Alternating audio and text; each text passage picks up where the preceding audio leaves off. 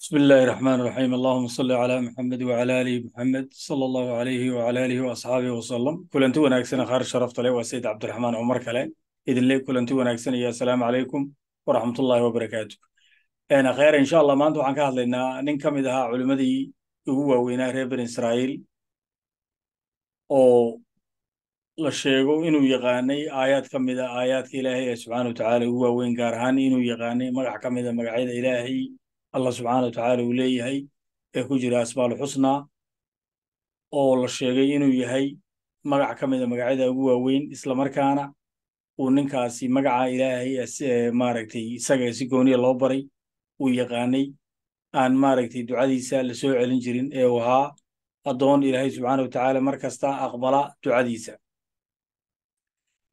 Ninkan haddaba culimmada magaciisa waxaa la oran jiray baclam albacuura ayaasaan carabaamanay wuxuu noolaa ama uu ka tirsanaa reer bani israa'iil wuxuuna noolaa waktigii rasuulullahi muuse calayhi salaam.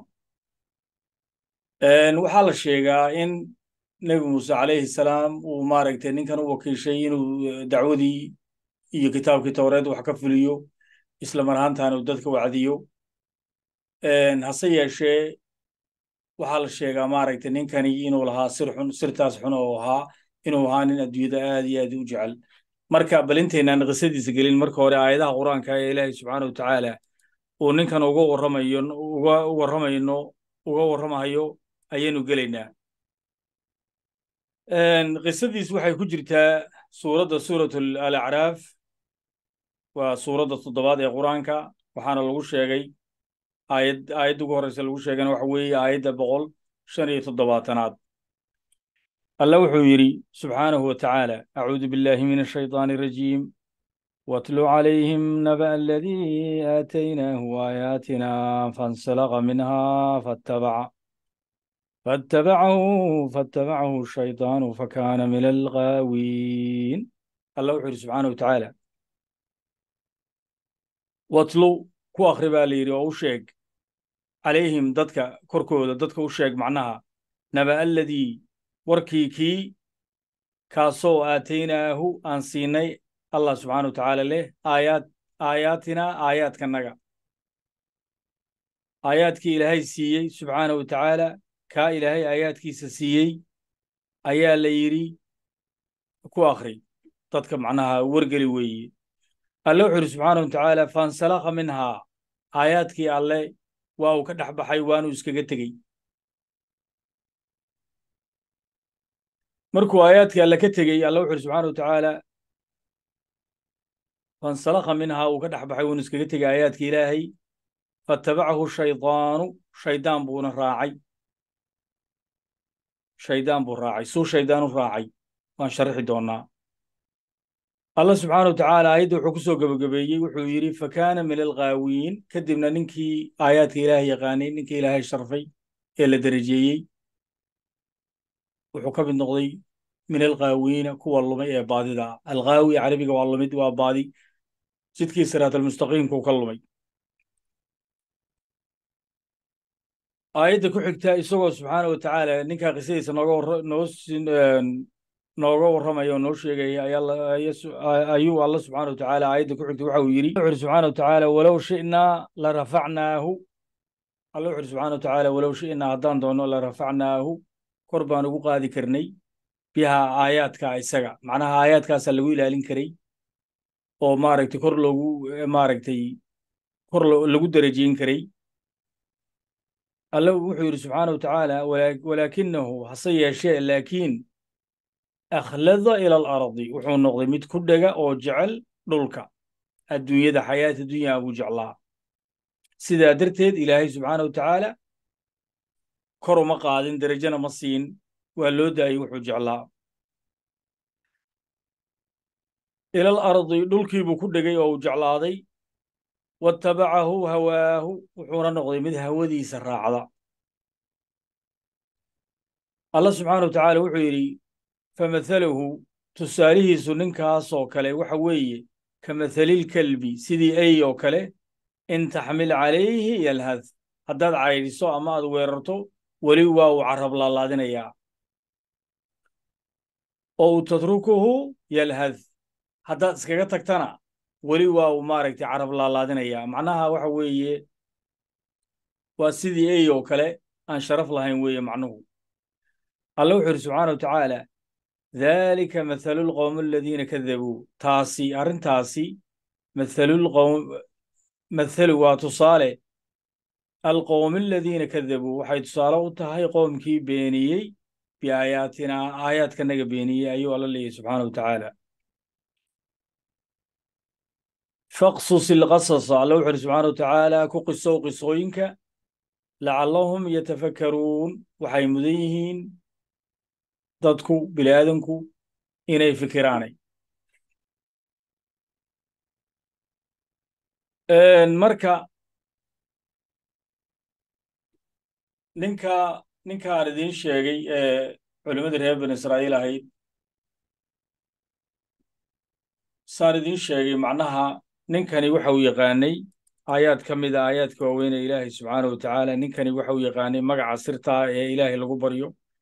Magaca sirtaa ee maaragtay hadduu ilaahay ku roon yahay ilaahay haddaad ku barido uu baryadaada aqbalayo iyo aayaad kaloo dee ilaahay uma garanayo ayuu ninkan yaqaanay baa layidhi saan idii carabaabana magaciisa waxaa la odhan jiray baclem ibnu bacuura marka ninkan baclem ibnu bacuura la odhan jiray waktigii rasuulullaahi muusa calayhi salaam ayuu noolaa. Saan idin sheegana ninkaasaa wuxuu ahaa darajaysan marka maxaa dhacay marka? Ninkan marka waxa weye qisadiisu waatan marka. Waxaa la yidhi wuxuu ku dhex noolaa baa la yidhi isagu qoom daalimiina oo nebi muuse calayhi salaam dagaal kula jiray. Kadib qoomkii ayaa waxay ka war heleen in nebi muuse uu iyaga duulaan ku soo yahay oo ku soo socdo ninkan maaragtay culimmada ee saalixa ee wanaagsan waa intii intuuna gaaloobinay ee ku dhex noolna way ogaayeen. Waxay kaloo ogaayeen in ninkan uu yahay qof ilaahay subxaana wa tacaala uu baryadiisa iyo ducadiisa iyo wax la wuxuu alla weydiisto uu aqbalo. Kolka markay ka war heleen in nebi muuse ku soo socday isaga u tageen waxay yidhaahdeen niyahow lacag iyo dahab iyo maal adduunyo iyo wax alla waxaad doonto ayaan ku siinaynaa ee waxaad noo baridaa. Duca samee ka horjeeda nebi muuse inuu nebi muuse jabo uusana soo weerarin duca samee. Waxaa la yidhi marka ninkani waxaa la yidhi isaga keliya adduunyada ma jeclayn. Waxaa la yidhi wuxuu qabay baa la yidhi naag. Naagtiisii ayaa iyadana ogeyd in maaragtay ninkan weligaa ee ilaahay subxana watacaala ducadiisa aqbalo in ducadiisa la aqbalo. Bal fiirsada meeshu ka halaagsamay waxaa dhacday marka maalin maalin ka mid ayaa waxay ku tiri ayaa waxay ku tiri ninkeedii oo baclaam ahaa. Waxay tiri niyow ilaahay bari inaan noqdo haweeneyda ama qofka dumarka ay ugu qurxoon reer bani israa'iil. Kamuu fiirsan ilaahay buu beriye waxay noqotay haweeneyda ugu qurxo badan reer bani israa'iil. Maxaa dhacay markaa kadib markay naagtiis aragtay inay tahay haweeneyda ugu quruxda badan reer bani israa'iil ay tahay ayaa isaga iskaga tagtay. Gebigiisiba way xoortay tuurkeeda iska gashay. Markuu arkay murugtii dhibka ku dhacay ayaa isna wuxuu bilaabay inuu maaragtay hadduu ilaahay kuu roon yahay duco kale uu ka dabageeyey oo wuxuu yidhi ilaahay uu naagtan gebigeeda ey iga dhig dhow ka dhig buu yidhi. Ilaahu ey ka dhig naagtan. Ey baa laga dhigay. Ilmihiisi baa u yimid oo yidhi abbow asxaan noo sameeye bal islaantan sideeda hore ku celi. Marka ninku gebigiisaba maaragtay nin iska dhiban buu ahaa. Marka markii ummaddii dhex joogeen aan ku soo noqonnay ummaddii u dhex joogay markay yidhaahdeen duca ka horjeeda nebi muuse calayhi salaam noo bari. Ayuu maalmuhu ka heruurureegay wuxuu yidhi istikfaaran tukan bal waan arki. Adiga calaa kulli xaasil ninkii shaydaan baa maaragtay jujuubay shaydaan baa maaragtay gurbaankiisi beentahay adduu jacaylkiisii heesaawii shukaansi u akhriyey kadibna dadkii waxay yeeleen waxay lacagtay hayeen iyo dahabkay hayeen iyo naagii u qurqurux badnaa eeg alle wuxuu yidhi subxaana watacaala aayadda qur'aanka xusuusta walaakin akhlada fi lardi dhulkiibuu ku dhegay baa layidhi dhulkiibuu ku dhegay dhulkaa uu ku dhegay maxay tahay? Ma aha inuu carrada ku dhegay caadiga ah. Ninkani wuxuu ku dhegay lacagtii iyo naagihii iyo dahabkiibuu ku dhegay. Soo ma aragtaan? Ilaahayna subxana watacaala qur'aanka wuxuu noogu sheegay akheera daawada qisadayda aan uga sheekeynaya abuuridda aadan iyo xasanimada ibliis ay ku jiraan aayadahani. Shaydaanna waa ka ballan qaaday inuu dadka ilma aadan u qurxin doono adduunyada. Adduunyadan u qurxinayaa buu yidhi adduunyadan maaragtay u dhodhoobi doonaa muraayad uga dhigi dhalaal uga dhigi si ay maaragtay ugu hallaabaan. Kolka ninkani alla markuu leeyahy subxaana watacaala walaakin akhlada fi lardi dhulkiibu ku dhigay waxa weeye lacagtii iyo maalkii iyo naagihii wuxuubu jeclaaday. Ummaddaasina ummad faasiqiin ay ahaayeen ninkii bay siiyeen wax kasta markuu qaatay dahabkii wixii ayuu yidhi waayahay maantan tegayaa markay soo dabagala nebi muuse calayhi salaam ayaan habaarayaa. Sunnada iyo xadiisana ku soo qisana ka sheekeynaya kadib waxaa dhacday ninkii dameerkiisi buu soo koray. Dameerkii markuu soo koray uu meel dhex marayay ayuu dameerkii joogsaday dameerkii markuu joogsaday ayuu diiday inuu dhinacan u dhaqaaqo saddex jeer buu dameerkii buu garaacay. Mar kastuu dameerku joogsado xayawaankiisii uu joogsado maaragtay wuxuu diidaa hadduu ilaahay idiin roo yahay in wuxuu diidaa maaragtay in wuxuu diidaa uu socdo. Kadib dameerkii markuu diiday inuu socdo ayuu mar kale garaacay. Kadibna dameerkii ayaa hadlay. Dameerkii markuu hadlay dee ilaahay baa xayawaan ka hadal siiyey innagaba ilaahay baa subxaana watacaala inaga hadal siiye dameerkii baa wuxuu yidhi taclamu waxaan arkaa malaa'ig iyo hortaagan mana socon karo. Adigu siday tahayba ninkii fiiri hadda waa fiiri waa laga joojinayaa. Ninkii buurtii buu koray. Ninkii markuu buurtii koray oo kuwii dadkii lala socdan ayuu bilaabay inuu maaragtay habaaro nebi muuse calayhi salaam. Waxaa haddaba la yidhi mar uu erey hadal ka soo baxaba carabkiisii bay alla qalloociyey subxaana watacaala kuwiin buu habaaraa mar hadlana nuurkii iyo aayaadkii ilaahay siiyebaa waxaa la ka duulo afkiisa ka baxa. Waa mucjiso. Ilaa markii ugu dambeysay mar intuuna hadalbay dadku waxay dhaheen waradhe waa ku sidee annaga habaaraysaay waase nebi muuse hadee inaad habaaratidii wuu iska sii wataa ilaa iyagii baa habaarayaa meeshii ninkii saasuu ku gaaloobay ninkii sidaasuu maaragtay aayaadka ilaahayna fansalaqa biha allau yidhi subxana watacaala aayaadka ilaahayna saasuu uga dhex baxay gebigiisiiba adduunyuu doortay. Marka maxay tahay alla markuu leeyahy subxana watacaala fatabacahu shaydaanu fatabacahu shaydaan waxa weeye akhyaaray qofku markuu adduunyada jeclaado uu adduunyada aad iyo aad iskugu dhejiyo automatically shaydaan buu raacaa. Xuska ilaahay iyo dikriga allah iyo jacaylka ilaahay iyo jacayl adduunyana qalbigaaga kuma midayn kartid. Kolka waxaad ogtihiin nebiga sal allahu alay wasalam waxaan jeclahay suuradda labaad ee qur'aanka soo degtay inay ahayd markii wax yar hakaday waa kii nimankii gaalada quraysh yidhaahdeen maaragta nebiga beenka sheega yidhahdeen dacwadiisa maxaa ku dhacay? Miyaa laga joojiyey? Saasoo kale allah subxaana watacaala waa ku dejiyey suurat dhegeyso. Alla wuxuu yidhi subxaana watacaala acuudu billahi min ashaytaan rajiim duxa walayleydaasi jaa ilah wuxuu ku dhaaranayaa duxa. Waa subaxii barqadii barqada dheer markay qoraxdu tahay. Waduxa alla wuxuu ku dhaaranaya barqada dheer subaxii iyo waleylidaasi jaa habeenku markuu madoobaado nebigu alla u dhaaranaya wuxuu soo wado. Alla subxana watacala markuu dhaarto dhaarto wuxuu u dhaaranayaa aayadda ka dambaysa weeye alla wuxuu yiri subxana watacaala maa wadacaka rabuka wamaa qalaa. Maxamedow rabbigaa kuma nicin kaamana tegin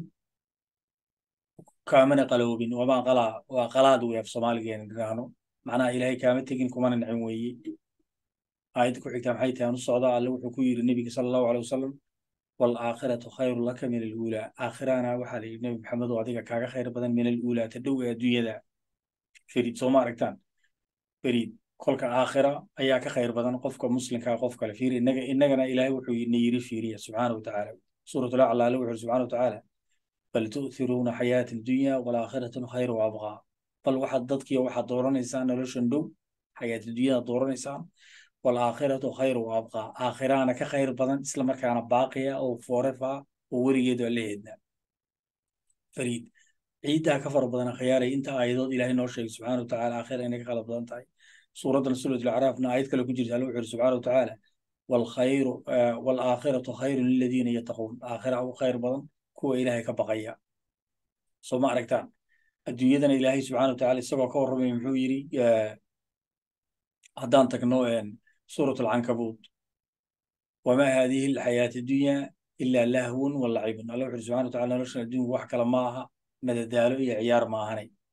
Waladaaru alaakhirati lahiya alxayawaan low kaanuu yaclamuun. Guriga aakhiro ayaana nool oo xayawaana oo xayiya oo noola low kaanuu yaclamuun. Hadday dadku macnaha garanayaan. Aayadaha ku soo arooray inay aakhira ka fiican tahay adduunyadan qur'aanka mee way ku badan yihiin. Macnaha hadda waa ka idin sheegay rasuulkeennimaa na faray la faray innagaa layna faray. Kolka waxa weeye ninkan waxa ay maaragta haddaan qisadiis ku soo noqono waxa uu aayaadka ilaahay uga dhex baxay waxa weeye oo adduunyuu jeclaaday. Adduunyuu jeclaaday adduunyu jacaylkuna waa calaamadda koowaad ee ah qofku inuu shaydaan raacay. Markaad adduunyada aad u jeclaato markaad maal iyo lacag hesho ama xukun hesho waa inaad is ilaaliso oo khatar tahay. Maalka nebiguna wuxuu yidhi sal alla alay slam xadiiska saxiixa ah maalka iyo taajirnimadu waxay abuurtaa isla weyniya kibir. Isla kibir baa ku geli. Qaaruun xusuusta qisada qaaruunna mar baan idiin sheegi doonaa hadduu ilahay yidhaahdo marka waxa jacaylka adduunyada ayaa ninkan gebigiisiba diintiisa ku ciyaaray. Culimmada islaamka xataa waxay yidhahdaan ninkan heer wuxuu gaaray dhulka marka uu joogo ee uu samada saa u fiiriyo carshiga allah subxaana wa tacaala ayuu arki jiray. Waa darajo weyn. Kolka waxaasoo dhan wuxuu ka qaatay waxa yar oo ilaahay yidhi subxaana wa tacaala aayad kale qur'aan haddaan idiin keena alla wuxuu subxaana wa tacaala walaa tashtaruu biaayaatii thamanan qaliilan. Aayaadkayga ku gadanina wax yar dhammaanaya. Haddii lagu sii akhyaaray waxa doolar adduunka yaalla waxa dahab adduunka yaalla waad ka dhiman maadaa og berri in wadnaha ku joogsan. Waxba ma aha kolka aayaadka ilaahay maaragtay diinta islaamka hanuunka iyo nuurkan iyo waxana lagu siiyey iyo nolosha wanaagsan ee aakhiro ayaa ka khayr badantan adduunka.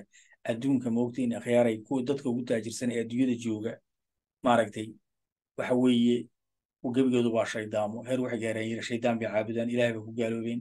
Qofba qofkuu ka xun yahay ayaa adduunka maaragtay maalqabeenka yihiin waxaan westereenka haysta maalka iyo lacagta le kulligood waa satanic society baa la yidhaahdaa waa bulsho shaydaan. Shaydaankuna tuulka ugu weyn iyo maaragtay aaladda ugu weyn ee u adeegsadaa waxa weeye adduunyada ah. Adduunye jacaylka weeye adduunye jacaylku waa fidno.